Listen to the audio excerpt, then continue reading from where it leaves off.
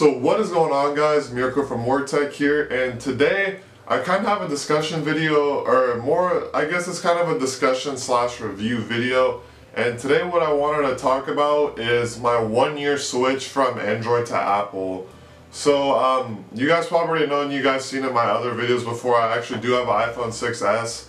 Now Everyone I'm pretty sure on this channel that does make videos for this channel and run stuff through WordTech, they actually pretty much all have Androids. And I remember Ethan was giving me some crap for going over to iPhone, but I think I kind of switched for a couple good reasons.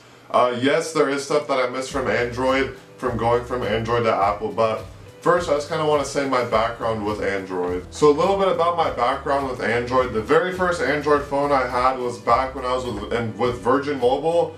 I believe it was an LG Optimus phone. It was back in sixth grade and I'm a freshman now in college. So that's way back. That's what, seven, eight years ago since I first had my first Android phone. So it's not like I've always been an Apple bandwagon. I've been using Androids all the way up till last July, last June. And then that was to the point kind of where I wanted to switch. So my very last Android phone was the Nexus 5.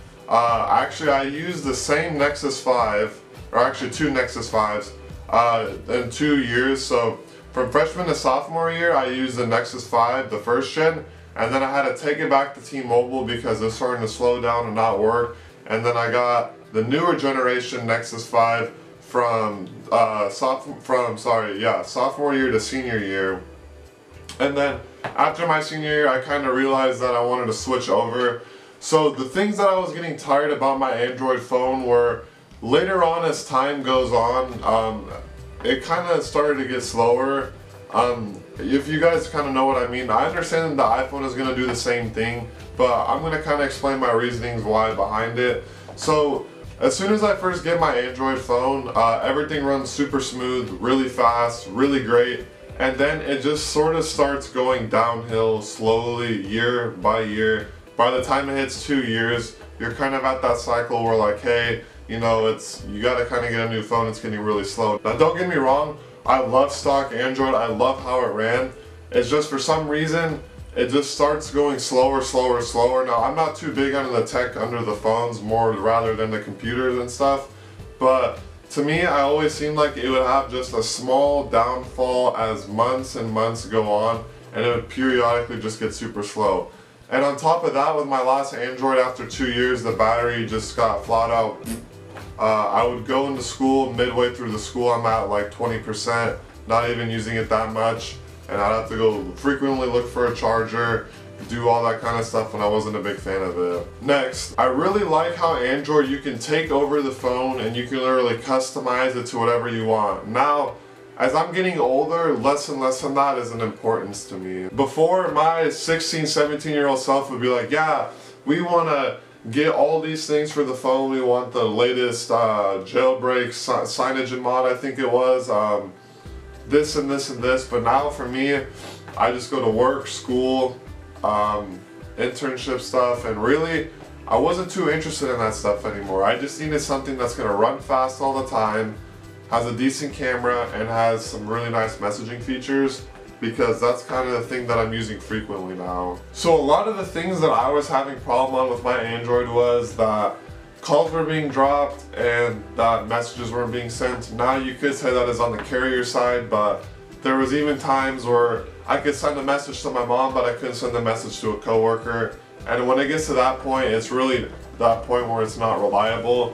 And having group messages or group chats through a messaging app like Messenger through like the Android, it was really hard to send messages. Sometimes I wouldn't receive messages till later on or it would take forever to send because there was a point where I had six group group chats on my phone going back and forth constantly every day and it was hard to receive messages. I'd have to be like, hey, can we do a Hangouts for this? I'm not a big fan of the Hangouts app.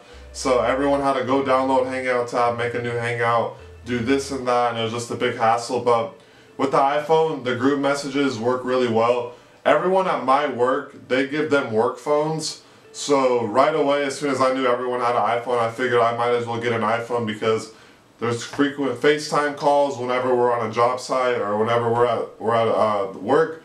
you know, it's a huge campus, so if someone wants to bust someone and they have to show something, no one's going to want to download Skype on their phone, show them this and that. They're just going to say, get on FaceTime, call me on FaceTime, show me what you need on the camera, and that's it. Also, on my phone right now, I have 11 group chats for work. All of these are going to be including engineers, uh, managers, a lot of different kind of stuff.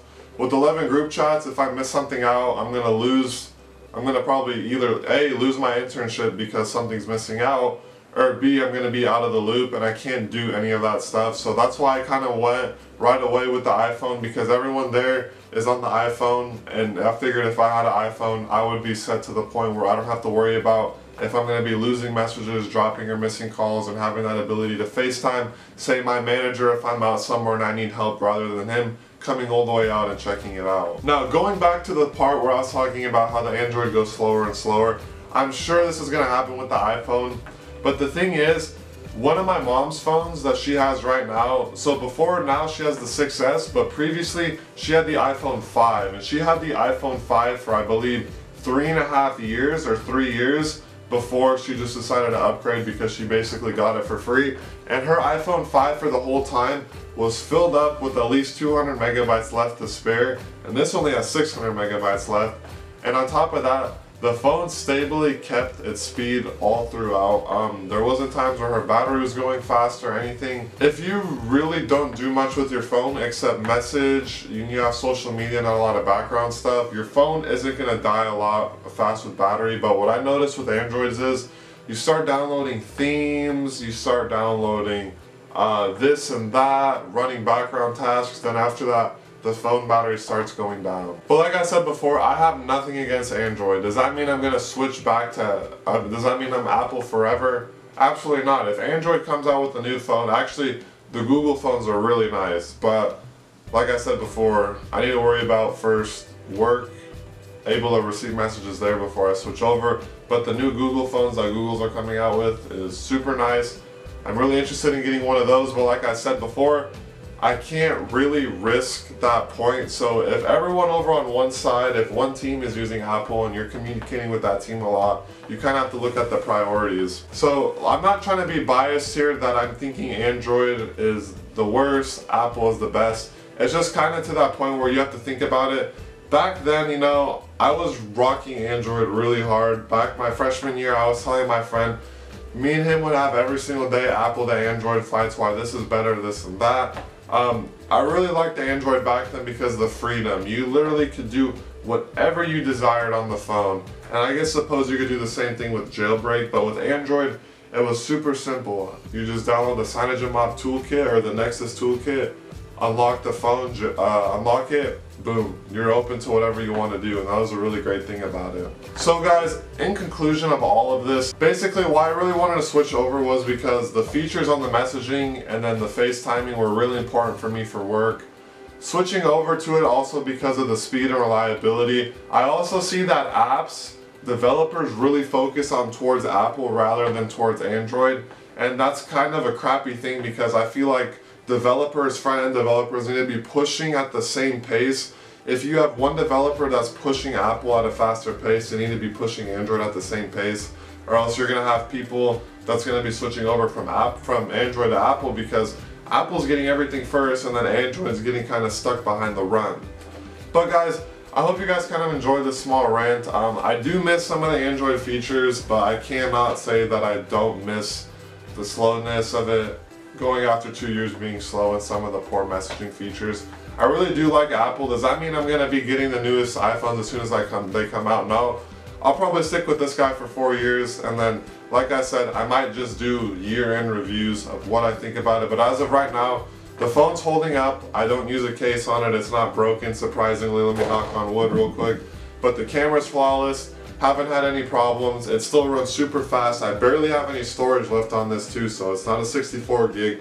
I think it's the 12 gigabyte or 16 gigabyte, whatever the slow, the lowest is for it. But yeah, guys, hope you guys enjoyed this video. Um, me and Ethan are going to be coming out some more content soon, and I'm starting summer after tomorrow after my exams. So guys, if you guys enjoyed the video, please leave a thumbs up. If you guys would like to see a second year in review of this, let me know in the comments below, and I'll see you guys in the next one.